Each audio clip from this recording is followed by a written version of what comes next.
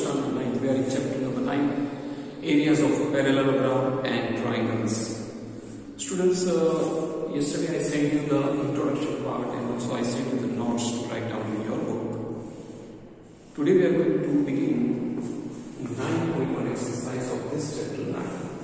आज हम चैप्टर 9 का 9.1 एक्सरसाइज शुरू करने जा रहे हैं तो 9.1 में सिर्फ़ एक ही क्वेश्चन है और बहुत ही सिंपल है तब मैंने जो बात की थी कि अगर between two parallels and same base अगर दो ट्राइंगल्स या पैरेललोग्राम्स होते हैं तो उनके एरिया सेम होते हैं। उनके बेस पर ये पूरी क्वेश्चन है। बहुत ही सिंपल और आसान है। जस्ट ऑब्जेक्टिव टाइप के क्वेश्चन है यहाँ पे हमें आंसर देना है जो फिगर्स यहाँ हैं one two three four five and six figures six figures में से हमें ये बताना है कि कौन से ऐसे इनमें से फिगर्स है जो बिटवीन टू पैरेलल्स है एंड सेम बेस है कौन से सेट्स है जो एक ही बेस पर दो कोई भी ट्राइंगल्स है और वो दो ट्राइंगल्स दो पैरेलल के बीच में ये बताना है बस। तो अगर आप एक एक फिगर को गौर से देखेंगे, बच्चों को पता चल जाएगा देखो फिगर नंबर वन देखिए। फिगर नंबर वन में ऐसा है, क्यों क्योंकि देखो यहाँ पे दो ट्राइंगल दिख रहे हैं ए बी बी बोलो या ए बी बी बोलो कोई भी बोल सकते हो बी सी बी बोलो या बी बी सी बोलो कोई भी ये दो ट्राइंगल्स है इनका बेस बी सी है ये मैं हाईलाइट कर रहा हूँ B C is the base इसके ऊपर ये दोनों ट्राइंगल बनाए तो मैंने यहाँ उसका आंसर दिया है figure one common base B C figure one ये मेरा फिगर नंबर वन ऊपर मेरे नंबर से ये फिगर ये सभी तो फिगर नंबर वन में कॉमन बेस बीसी है और उसके कौन से दो पैरेलल्स के बीच में है? तो बीसी एंड एबी के बीच में है। अब बीसी एंड एबी ये हुआ बीसी तो ये हुआ एबी ये हुआ। So this two triangles are between two parallels ये फिगर इसमें आ सकता है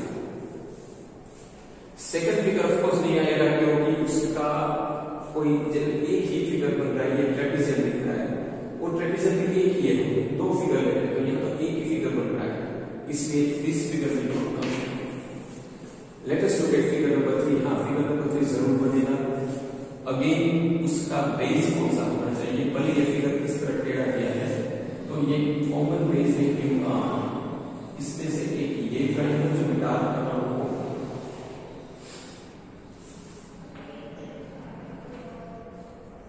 ट्राइंगल का नाम दे सकता हूँ आर एस टी ये ट्राइंगल है और दूसरा ट्राइंगल है पी क्यू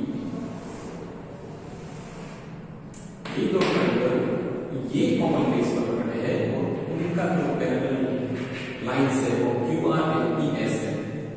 सो पी एस ये है क्यू आर ये है कॉमन बेस ये है दो ट्राइंगल के ऊपर खड़े हैं। तो ये भी फिगर उसमें आएगा।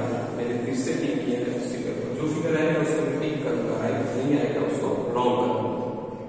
ठीक है बच्चों? Now let us go to figure number 3 I mean sorry 4 अच्छा जो फोर्थ फिगर है उसमें तो मैं ये कह सकता हूँ कि it is not between the same base and two parallel because अगर इनमें हम देखेंगे तो सिर्फ़ ये एक ही ट्रायंगल बन रहा है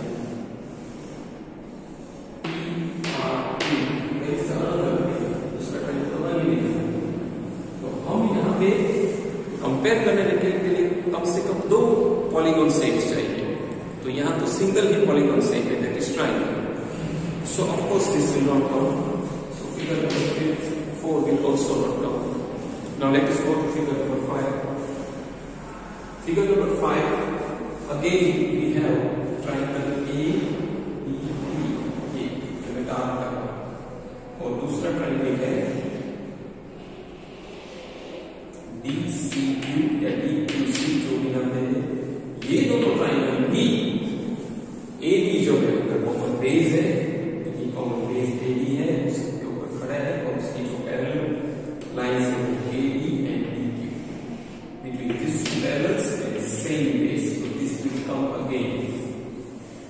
and the last one will definitely not come because we don't have any parallel या प्रॉब्लम से सिर्फ लाइनिंग ये तो आएगा So three figures, figure number one, figure number three, and figure number five are the answers of question the triangles lie on the same base and between the two parallels बस basic प्रश्न यही था कि ऐसे कौन से दो triangles है जो एक ही बेस पर खड़े हैं और मैं आपको बता दूँ according to the theorem between the two parallels and the same base the polygon sets will have the same area मतलब कि अगर कोई polygon set between the two parallels and same base में हो तो उनका एरिया जो होता है वो सेम होता है इसके साथ हमारा 9.1 exercise is over. Now, my next video will be about for 9.2 exercise जिसमें हमें बहुत सारे सॉल्व करने हैं thank you very much for listening me